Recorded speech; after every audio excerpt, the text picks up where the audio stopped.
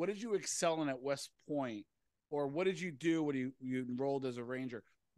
Like, what like were you a smart guy? Were you muscular? Like, like what what made you stand out with some of the best of the best that had you go down that track and, and brag a little bit because uh, yeah. I, I want to kind of I was wondering about that. Yeah, I mean, it's definitely. I think relation. If the the picture, the whole picture is going to be relationships. Okay. Right, getting people to be comfortable, um, being able to talk to any type of person about anything, uh, and then utilizing kind of the skills that I learned and nurtured at West Point, and then using them throughout my Army experience, and then ultimately using them uh, as an FBI agent in order to kind of um, uh, to, to I look at it both ways, right? Like to help people that were in trouble, right? So you're in trouble, but it's not the end of your life. The worst day is the day we put the handcuffs on you and walk you with our FBI jackets out, right? After that, it starts over. It's a rebirth, and it's your choice. So I help nurture those people along to come on Team America. We're gonna, you know, gonna... let's let's figure it out. Let's get to a better place. And I think that when I first got out of the bureau, I had job offers, and they were like, "Oh, you know, they they were making a few bucks. It was yeah. good." um, you know, it would have been okay. But I looked at it, I said, this this does not serve anyone but myself. Yeah. You know, okay, I'm going to make a couple hundred thousand dollars.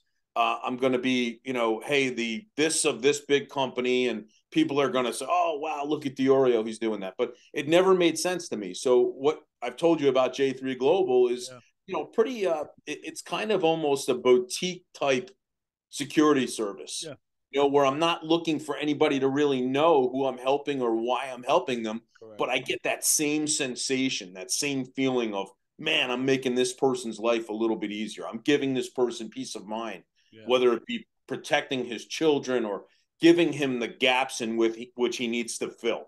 I, I here here's how I compare it, like for people to understand. Um, a few years ago, I had a heart situation, right? And my doc you know, I'm sitting in my my brother's a dentist. He he's like an EMT, a dentist. He cool dude, yeah. and he's we're standing getting ready to go through uh, into the cath lab, and he says to me, my brother said, "Hey, that stuff that they prescribed you, you've been taking that, right? The Lipitor?" And I was like, "No, been." So he's like, "Okay, well, that's a problem." You know, um, I said, "Well, nothing ever happened to me. Why would I take that? Why would I take the Lipitor? It hurts my joints. It hurts my shoulders, whatever." Well, when people say the first thing that I say when I talk to a high net worth person or a client, potential client, well, nothing's happened. What the hell do I need you for? I don't need you. And I tell them this story about Lipitor. And I tell them, hey, it might be a little painful right now because I'm going to go through all your stuff. I'm literally going to rip your lifestyle about how bad your security is and how bad your peace of mind is. But at the end of the day, we won't have a situation where we go into a cath lab and I got to bust through one of your arteries. It's all going to be okay and they get that. They seem to get that, you know. Or I give them the football adage, right? I'm I'm a guy. I'm the defensive coordinator, looking at how I can kind of go destroy your gaps, destroy your vulnerabilities.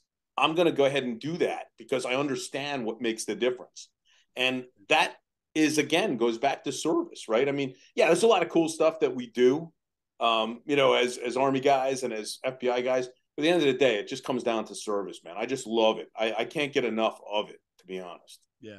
So now we're gonna because I know there's certain things you can't talk about, but we're gonna get to the FBI shortly.